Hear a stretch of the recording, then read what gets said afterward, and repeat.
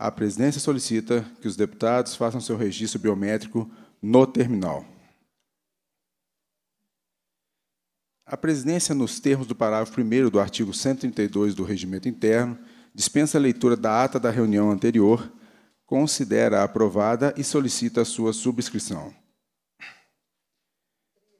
Essa reunião se destina a receber, discutir e votar proposições da comissão e aprovar, no âmbito da Assembleia Fiscaliza, as ênfases para as reuniões do primeiro ciclo 2023 da prestação de contas do governo.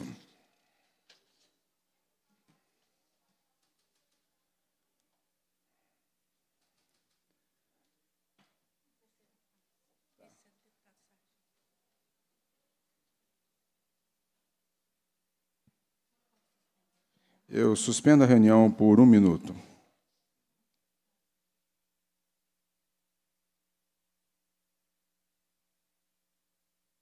Presidência, a nossa ilustre deputada Maria Clara Marra,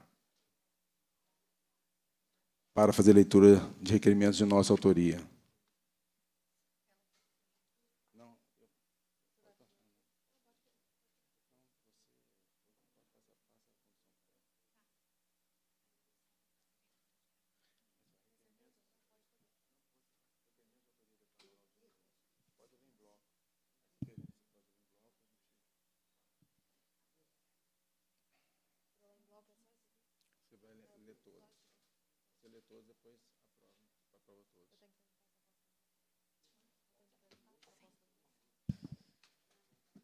Requerimento de autoria do deputado Noraldino Júnior. Solicita a leitura em bloco. Eu, ok. O deputado Enes Cândido. O deputado que subscreve requer nos termos do artigo 103, inciso 3 a linha... Não, inciso 3 a linha C do regimento interno seja formulado voto de congratulações com o delegado de polícia, doutor Alexandre Boaventura Diniz, e com os investigadores de polícia Luiz Cláudio Bonfim, Rafael Picoroni e Fabiano Silva Lopes Ramos, pelo empenho na atuação em casos de maus tratos contra os animais na cidade de Boa Esperança. Requer ainda seja dada ciência dessa manifestação ao delegado de polícia, doutor Alexandre Boaventura Diniz, na Delegacia de Polícia Civil, Rua Capitão Neves, 284, Centro, Boa Esperança, Minas Gerais. O deputado que subscreve requer a Vossa Excelência, nos termos do regimento interno, seja encaminhado ao prefeito de Catas Altas pedido de informações sobre as políticas públicas voltadas para os cães e gatos do município, bem como as medidas protetivas aos cães comunitários nos moldes previstos pela Lei 21.970 de 2016.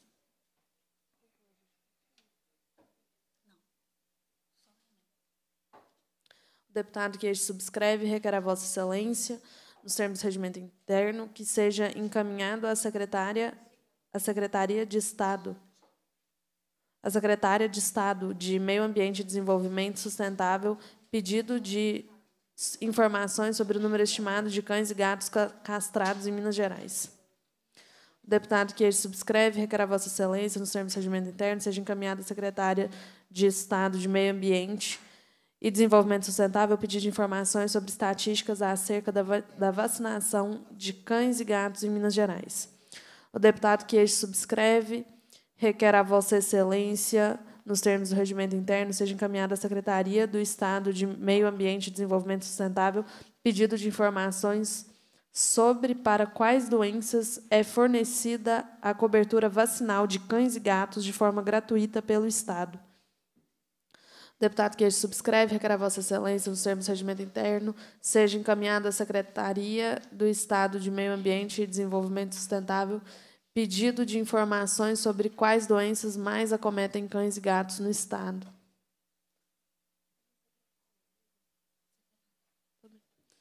O deputado que subscreve requer a Vossa Excelência, nos termos do regimento interno, seja encaminhado à secretária do Estado de Meio Ambiente e Desenvolvimento Sustentável pedido de informações sobre estatísticas acerca de casos de maus tratos, abusos ou negligência a cães e gatos no Estado. O deputado que subscreve requer seja encaminhado à secretária de Estado de Meio Ambiente e Desenvolvimento Sustentável pedido de informações sobre dados acerca do bem-estar físico, emocional de cães e gatos do Estado. O deputado que subscreve requer seja encaminhado à secretária de Estado de Meio Ambiente e Desenvolvimento Sustentável pedido de informações sobre estatísticas relacionadas ao número de adoções de cães e gatos em Minas Gerais. O deputado que subscreve requer a Vossa Excelência seja encaminhado à secretária de Estado de Meio Ambiente e Desenvolvimento Sustentável pedido de informações sobre a quantidade estimada de cães e gatos em situação de rua em Minas Gerais. O deputado que subscreve requer seja encaminhado à secretária de Estado de Meio Ambiente e Desenvolvimento Sustentável pedido de informações sobre a quantidade estimada de cães e gatos existentes em abrigos e canis municipais no Estado. Deputado que subscreve requer a Vossa Excelência seja encaminhado à secretária de Estado de Meio Ambiente e Desenvolvimento Sustentável pedido de informações sobre a quantidade estimada de cães e gatos existentes nos lares da população mineira. O deputado que subscreve requer seja encaminhado à secretária de Estado de Meio Ambiente e Desenvolvimento Sustentável pedido de informações sobre a proporção do número de sanções administrativas aplicadas em decorrência da Lei nº 22.231 de 2016, em relação ao número de indiciamentos pela prática do crime de maus tratos aos animais. O deputado que subscreve requer seja encaminhado à secretária de Estado de Meio Ambiente e Desenvolvimento Sustentável pedido de informações sobre quantas sanções administrativas foram aplicadas em decorrência da Lei nº 22.231 de 2016 no último ano.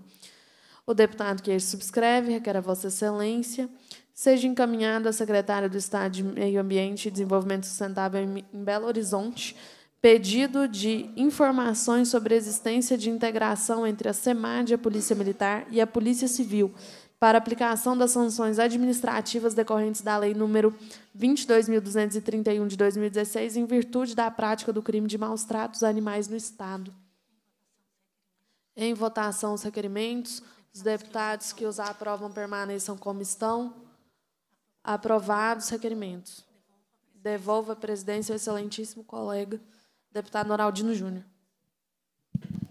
Eu agradeço, deputada Maria Clara Marra, pela, pelas suas contribuições, a deputada que vem é, contribuindo muito aqui nessa Comissão de Proteção dos Animais. Então, aqui eu fico, registro aqui esse agradecimento à deputada Maria Clara Marra e também o colega aqui, deputada, deputado Enes Cândido, que tem nos apoiado nos projetos que estão em votação que se refere à causa animal. E em se tratando é, desse assunto, eu peço atenção dos nobres colegas. Hoje, na comissão, na CCJ, é, foi aprovado uma denominação de logradouro público, de minha autoria, ao senhor Silvestre Detone. O senhor Silvestre Detone, e o que me motivou a dar essa a propor essa denominação ao Sr. Silvestre Detone. É um homem que infelizmente não está entre nós, que é um homem que dedicou grande parte da sua vida para ajudar as pessoas da cidade de São João Nepomuceno. É um homem que, enquanto eu estava como vereador e também como deputado, é um homem que me ligava quase todos os dias para pedir interferência e ajuda e saber como ajudar as pessoas que necessitavam da saúde pública e que tinham dificuldade de acesso a elas. Um homem que era reconhecido nessa cidade pela sua generosidade, pelo seu companheirismo e por estar sempre aberto a essas demandas da sociedade de São João. Um homem que amava a cidade de São João Nepomuceno. Tanto é que é, essa, esse, essa homenagem a ele não era esperada só por mim, mas sim por todos que gostavam dele. E o Sr. Silvestre Deptone também era dono de um frigorífico. E hoje, é, na, na aprovação dessa matéria, deputado Tito Torres, é, teve um colega que questionou e disse que tem envolvimento, olha, eu tenho envolvimento com a causa animal e eu não sinto confortável de votar uma denominação de logradouro público para um homem que era dono de frigorífico. Eu queria aproveitar que eu perguntar qualquer uma pessoa dessa sala aqui. Deputada Maria Clara, a senhora é vegana? Alguém da, da, da assessoria aqui é vegano? deputado Henrique é vegano, vocês são veganos? Só tem duas formas da carne que chega no prato de cada um de vocês, só tem duas origens, deputado Tito Torres. Duas, duas origens. Uma, através de um frigorífico regularizado, ou através do abate clandestino. Para quem não sabe, nós atuamos desde o início dessa legislatura e das outras legislaturas combatendo o abate clandestino, que é um abate que vem com um sofrimento absurdo dos animais. Tanto o frigorífico quanto o abate clandestino são abatedouros. Só que o frigorífico regularizado ele tem regras que minimizam o sofrimento dos animais. E eu, é, como a sociedade não evoluiu, e aí nós falamos em toda essa sala aqui, e todos nós, eu, mesmo com as minhas restrições, eu não sou vegano. Então, eu não tenho legitimidade para condenar e para criticar nenhum de vocês. Nem tampouco uma quantidade gigantesca de protetores que comem carne, mas que atuam dia e noite na proteção dos animais. Eu não posso aqui julgar um homem que dedicou grande parte da sua vida a ajudar outras pessoas. Então eu fiquei muito. Eu, eu queria esclarecer, porque às vezes as pessoas entram, é, entram é, na causa animal, acham que é bacana, que é um movimento crescente. Eu não sei se esse é o caso, e eu acredito até que não. Acredito que essa pessoa ele seja vegano mesmo. E é um colega, queria que ele estivesse aqui para a gente conversar, é, porque é uma, um assunto bem complexo e bem, e bem polêmico. Aliás, nós teremos nessa comissão aqui e debates no plenário que serão debates complexos, debates, polê debates polêmicos, é, que tem a ver com o bem-estar dos animais. Então, nós estamos muito além da sociedade ideal. Muito além. Mas eu queria deixar claro aqui e dizer a todos vocês que eu respeito o posicionamento de todos vocês, de qualquer um, qualquer um protetor, qualquer um que esteja aqui, mas eu me senti na obrigação de trazer clareza e transparência, às vezes, para as pessoas que às vezes não entendem. É, porque qual é a origem de uma proteína animal que está no prato das pessoas? Só tem duas formas, gente. E nós temos atuado desde o nosso primeiro mandato, junto com o Ministério Público. Nós temos um PL que, inclusive, será votado nesta Casa Legislativa. Eu espero o apoio dos pares, que vai trazer sobre. Vai, vai, que o PL trata sobre as questões humanitárias, sobre abate humanitário, para estabelecer regras mais rígidas para garantir o mínimo de sofrimento aos animais. Mas volto a dizer, desde o meu primeiro mandato, nunca sentei nessa comissão, nunca sentei na presidência dessa comissão para combater ou para denegrir ou para criticar a posição é, do ouvinte, do eleitor, se ele consome ou não consome proteína animal. O que eu tenho feito é um trabalho rígido para combater de forma rígida os abates clandestinos que ainda ocorrem, principalmente nas periferias do nosso estado, nas, reuniões, nas regiões mais remotas, com crueldade, com covardia, com desrespeito às regras sanitárias, colocando em risco também a saúde da população. Isso ainda é uma realidade que nós temos que combater. E essa comissão não vai fugir do seu papel. Eu tenho certeza que os nobres colegas que aqui estão entendem do que eu estou falando. E eu, com muita tranquilidade, não estou aqui para é, criticar ou é, julgar qualquer atitude de qualquer colega que tem legitimidade. Eu acredito que todas as, qualquer pessoa que tenha, que seja vegano, que seja vegano, tenha legitimidade para criticar, sim, para criticar é, essa essa categoria, para criticar essa situação. Eu, como eu não sou, eu não evolui a esse ponto, eu não me sinto, eu não me sinto, é, não, me, não acho coerente e não me sinto preparado para tomar uma atitude dessa. Porque, gente, quem define o mercado são os consumidores.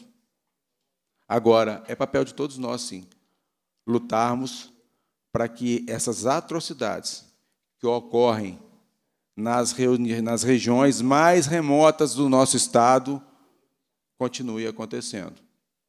E isso nós temos que trabalhar muito trabalhar para que isso não possa ser uma realidade, continuar sendo uma realidade. Então, eu, eu peço é, desculpa tomar o tempo de vocês, deputada Maria Clara, deputada Enes, eh, deputado Enes Cândido, mas agradecer a vocês pela participação e tenho certeza que os nobres colegas deputados aqui compreenderam a, a, o posicionamento é, deste presidente. Eu indago ao deputado Enes Cândido. Senhor presidente, o que ficou no, no ar aqui é o requer... foi ou não aprovado pela CCJ? É, com o voto contrário do seu colega. Nós tivemos aprovação, é, é. nós tivemos aprovação, deputado Enes Clândido. No momento oportuno, o senhor presidente podia trazer para nós a informação se o colega é sim vegano. Só para nós sabermos. Tá bom? Obrigado. No mais, pode contar conosco.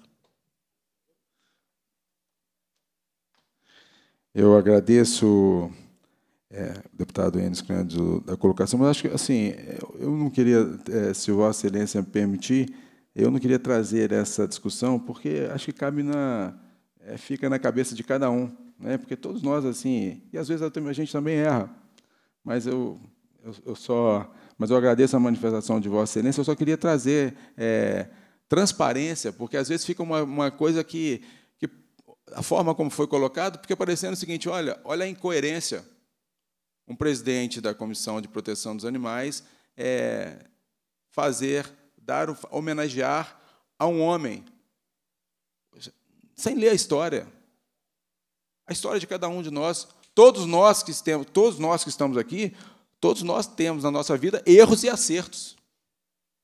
Esse homem teve muito acerto na vida, e todos os acertos, e grande parte dos acertos deles, dele, impactou a vida de outras pessoas. E por isso que ele é tão aplaudido e tão querido na cidade é, de São João Nepomuceno, onde as pessoas o tinham como parceiro, como amigo, como um, um homem que, na hora que precisava, ele estava ao lado. Então, fica aqui a minha homenagem ao Sr. Silvestre Detone é, pela sua história. Uma história bonita, que uma história de solidariedade, de amor ao próximo, e, volto a dizer, todos nós temos erros, né, deputado Enes Candes? Talvez eu seja aqui é, o, a pessoa mais cheia de erros. Então, quem sou eu para julgar o próximo? É, eu tenho minha posição aqui, defendo ela com bastante rigidez, vou até o, vou até o fim. E aqui, é, os animais, para mim, mesmo não tendo voz, enquanto eu estiver aqui, será, eu serei a voz deles. E essa luta tem que continuar com grandes parceiros que estão aqui do lado, outras pessoas que não puderam estar aqui, mas essa é a nossa é a nossa batalha. Eu quero agradecer, tá, deputado Enes Cândido. Ok, senhor presidente. Requerimento, eu peço aqui fazer a leitura, requerimento da deputada Maria Clara Marra, que seja encaminhada à Secretaria de Estado de Meio Ambiente e Desenvolvimento Sustentável, pedindo informações sobre as ações desenvolvidas pelo Estado com vista à implementação da política da saúde única, que pressupõe a necessária abordagem conjunta das, conjunta das saúdes humana, saúde animal e saúde ambiental.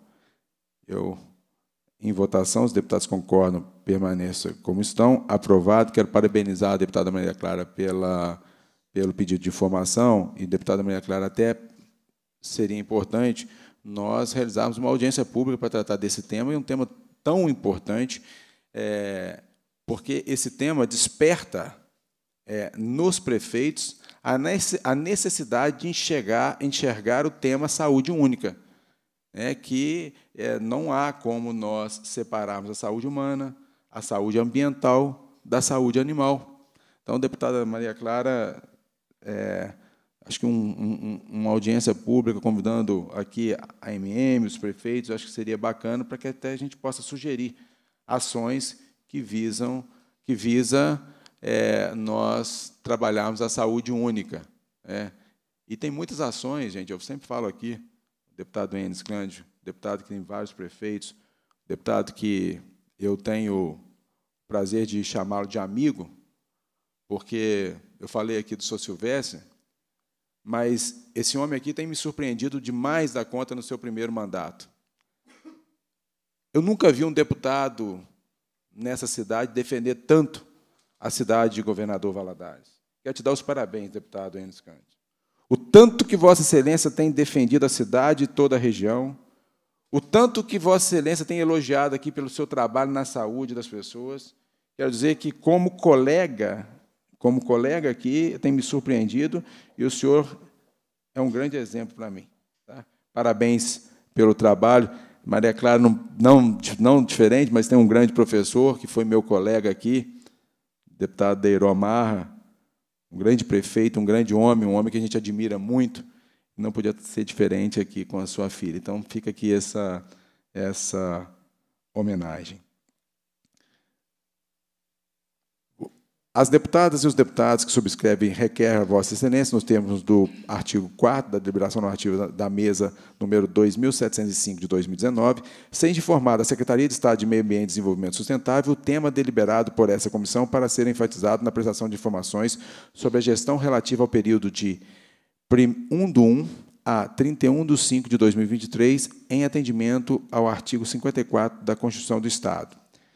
O tema é, informações sobre autuações e multas decorrentes da aplicação da Lei 22.231 de 2016, que dispõe sobre a definição de maus-tratos contra animais no Estado e da outras providências.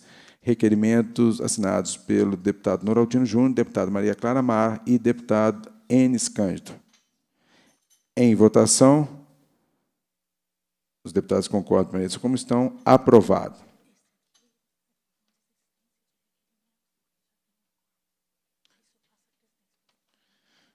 Passo novamente da presidência da deputada Maria Clara Marra para fazer uma leitura de requerimento de nossa autoria.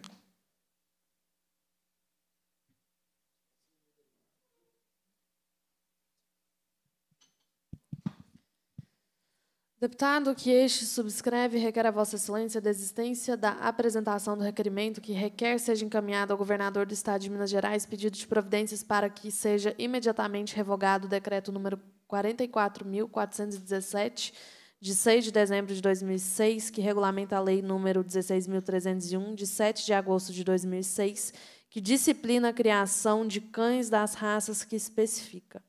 Em virtude da tramitação do requerimento 1559 de 2023, de autoria desta comissão.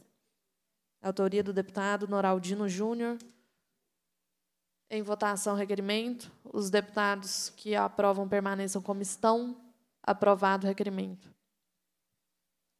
Devolva, pres... aliás, antes de devolver a presidência ao excelentíssimo nobre colega Noraldino, gostaria de adendar a sua colocação aqui acerca desse infeliz episódio. Acho que foi um comentário precipitado que nós tivemos aí na, na CCJ colocar aqui que realmente o fato de consumir carne não tira o mérito dos protetores, dos defensores da causa animal.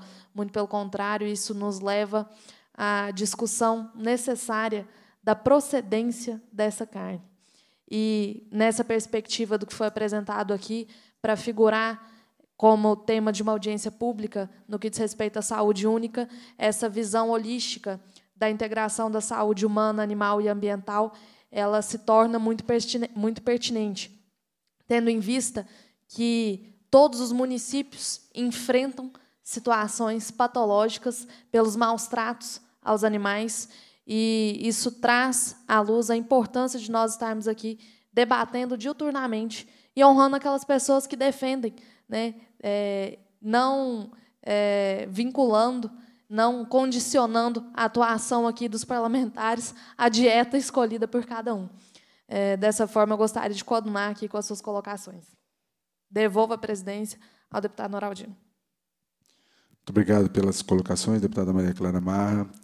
É, fazer um recebimento do requerimento do deputado Sargento Rodrigues, deputado que subscreve, requer a Vossa Excelência, no termo do artigo 103 do Regimento Interno, seja encaminhada à Prefeitura Municipal de Fama pedido de providência para a construção de um centro de controle de zoonose com o objetivo de desenvolvimento de políticas para o combate de doenças transmitidas por animais, a promoção de campanhas de adoção, incentivo à adoção responsável, a realização de programas de castração e recolhimento de animais em situação de rua.